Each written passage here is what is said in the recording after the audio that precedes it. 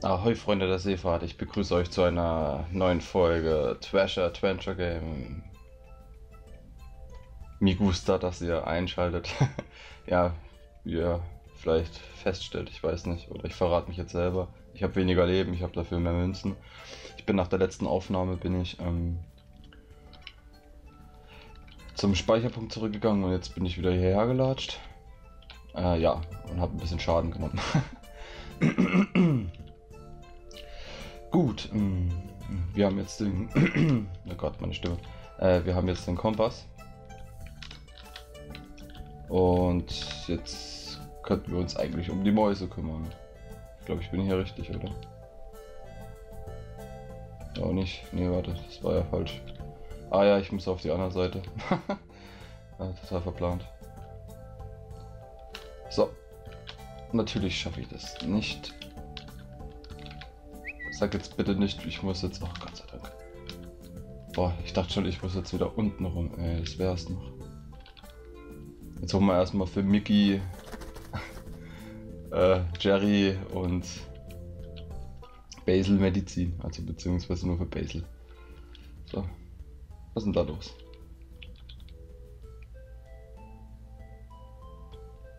Dr. Ziki, Zizi, weiß nicht. Kiki. Tu dir Bestes, damit ich gesund werde. Ja, das freut mich. Aber sie wird mich nicht retten können. Fürchte ich. What?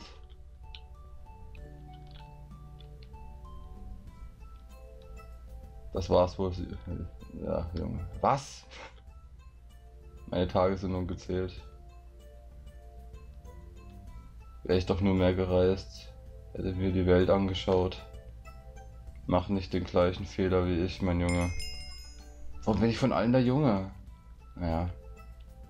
So, was sagt denn die Schwester?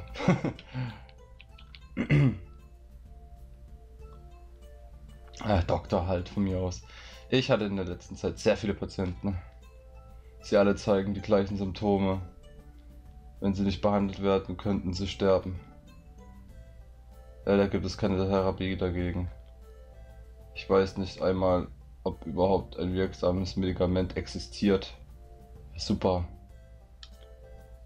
Ja toll, und jetzt? Ähm, nochmal. Ja. Ja. Ja. Das heißt, wir müssen was suchen. Okay. Vielleicht finden wir ja was. Ah, das ist jetzt natürlich doof. So, wir kommen jetzt da oben lang. Okay, wir müssen hier unten durch. oh man.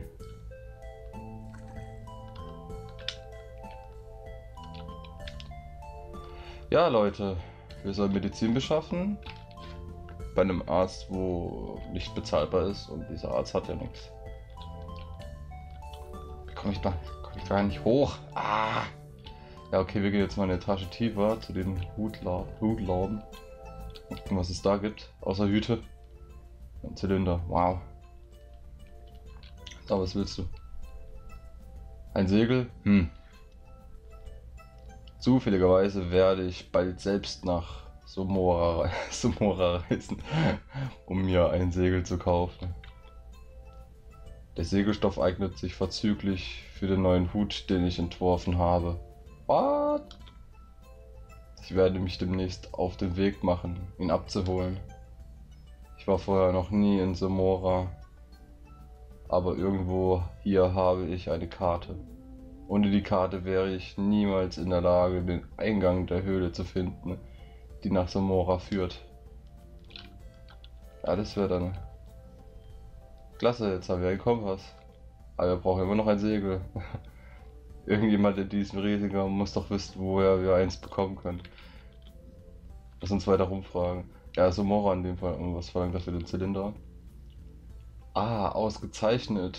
Ausgezeichnete Wahl. Dieser Zylinder ist einer meiner besten Hüte.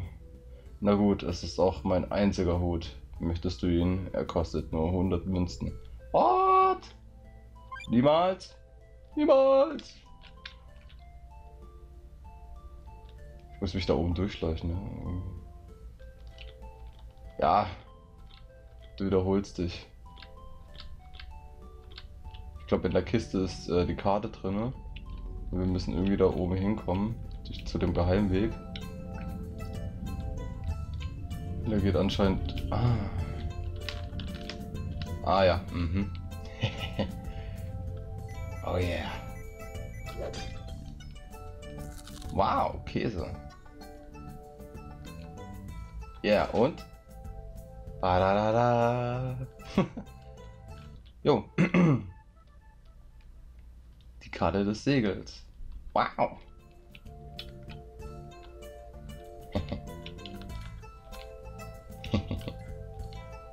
ja.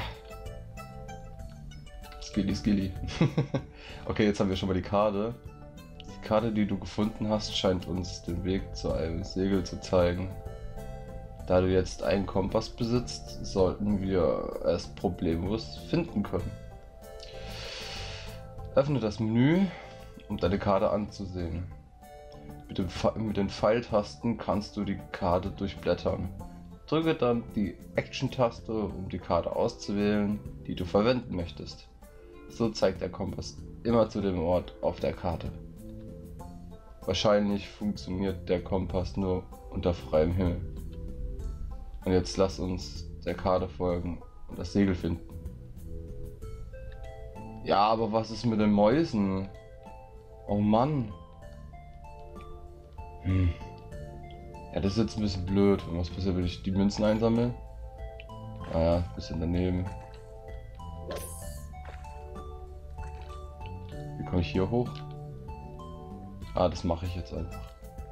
Echt, du forst doch ein bisschen einen Baum. Kalt bin ich ja inzwischen. Okay, was ist das? Okay. Ups, falsche Richtung. Das ist ein Avantigel. Oh, der kriegt keinen Schaden. Okay, alles klar. Gut, gleich merken. oh, da ist eine Kiste. Nice. Was hat die denn? Wow! Yeah. Jetzt bin ich richtig rich. So. Ich weiß auch nicht, wie viel dann das Segel kostet, aber das ist wieder so ein Igel, ne? Ja. Ähm. Nein! oh Leute, war das ein Fail. Und zack.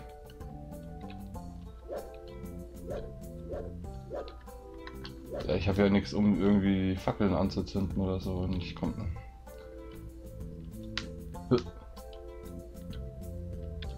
Okay, ich glaube, das Rätsel ist nicht für uns gedacht. Ähm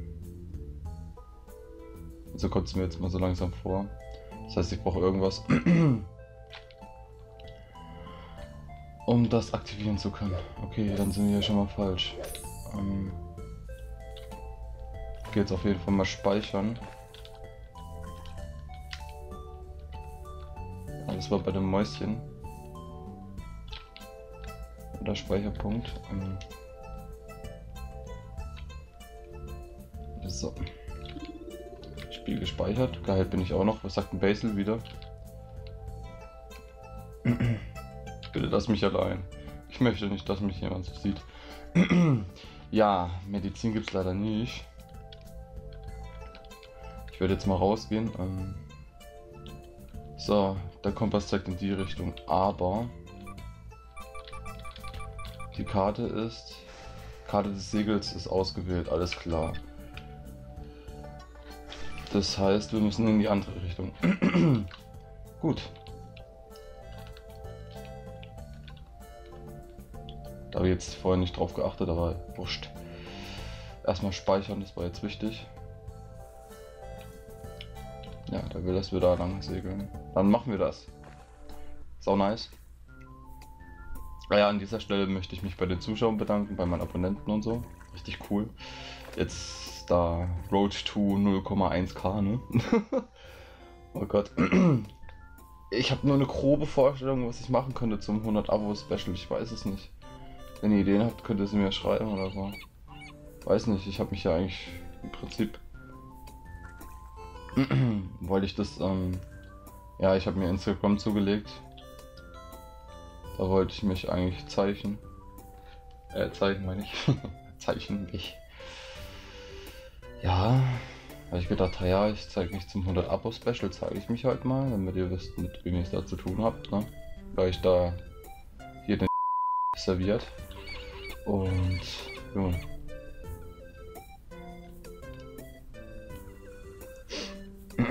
Habe ich halt schon getan. Okay, es hat sich halt ergeben, ne?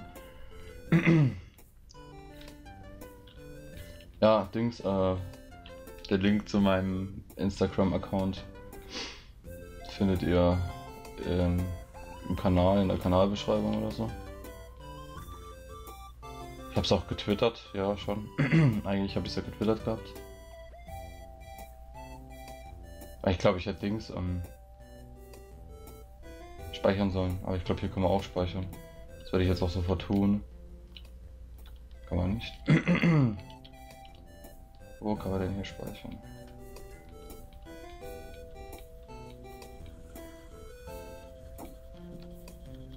Okay, hier wird schon gefährlich. Ähm okay, den Kompass zeigt auch an, wo der versteckt sein könnte. So, ich glaube, ich rede da erstmal mit, ne?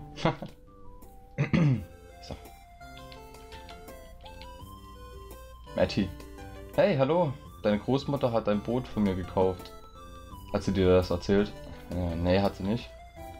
Vielleicht hast du es schon bemerkt, es ist ein ganz besonderes Boot. Als ich vor Jahren noch für Klopokorp arbeitet, entwickelte ich eine Technologie, mit der man riesige Objekte auf die Größe eines Pixels schrumpfen lassen konnte und umgekehrt. Obwohl es wie ein ganz einfaches Boot aussieht, ist es doch ziemlich fortschrittlich. Du kannst es in deine Tasche stecken, wenn du es nicht brauchst. Ja, das habe ich festgestellt. Nicht schlecht, oder? Ja, erinnert mich irgendwie an Dragon Ball Capsule Corp, ne? Und kann man hier irgendwie hoch?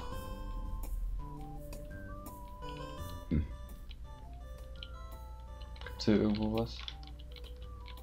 Gehen wir hier hoch. Ein Buch, okay. die moderne Zeitrechnung. Äh, die große, äh, die große Katastrophe. Ah, dann soll das. Ah, vielleicht ist das K für Katastrophe. Ja, die Zeitrechnung ist allerdings äh, K, also nach K und es wird wahrscheinlich die Katastrophe sein. Wow, wir haben's. große Katastrophe ereignete sich, nachdem der böse Dämon durch den Helden Huyen besiegt worden war. Mit letzter Kraft schlug der Dämon gegen den Erdkern und stürzte die Welt dadurch ins Chaos. Bis dahin formte, formte sämtliches Land des Planeten einen großen Kontinent umgeben von einem endlosen Ozean. Nach der großen Katastrophe zerbrach der Kontinent in viele kleine Inseln, wie wir sie heute kennen. Die große Katastrophe kennzeichnete den Beginn einer neuen Epoche, was sich auch in unserer Zeitrechnung widerspiegelt. Den Jahreszahlen vor der großen Katastrophe wird ein VK nachgestellt vor der großen Katastrophe. Die VK-Jahre beginnen werden rückwärts gezählt. Den Jahreszahlen nach der großen Katastrophe wird ein NK nachgestellt, nach der großen Katastrophe. Ja, ziemlich logisch. Die NK-Jahre beginnen mit 0 und werden aufsteigend gezählt bis zum heutigen Tag. Ja, gut, ein bisschen Geschichtsunterricht. Mal gucken, ich glaube, das wiederhole ich nochmal zum Anfang der nächsten Folge und dann werde ich an dieser Stelle mal Schluss machen. Bevor ich ziemlich überziehe. Da ich nicht speichern kann, werde ich direkt weiter aufnehmen. gut, dann bedanke ich mich fürs Zuschauen. Lasst einen Daumen nach oben da. Äh, Vorschläge, Vorschläge in die Kommis, twittert mir oder sonst was. Und dann sehen wir uns im nächsten Video. Ciao.